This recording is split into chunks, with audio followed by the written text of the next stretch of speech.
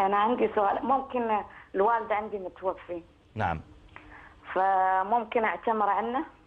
عن الوالد المتوفى؟ ها. نعم يجوز لك ذلك. أن تعتمري عن أبيك هذا جائز. نعم.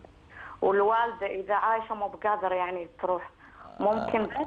الوالدة آه، غير قادرة ماليا ولا جسديا؟ والله جسديا يعني عندها ربو وعندها وكبيرة شوي في السن. يجوز تعتمري عنها. ما دام إنها غير قادرة جسديا يجوز ذلك. نعم. أنا وأخوي يعني أخوي اعتمر عن الوالد وأنا أعتمر عن الوالدة. آه، نعم يجوز ذلك ما في بأس.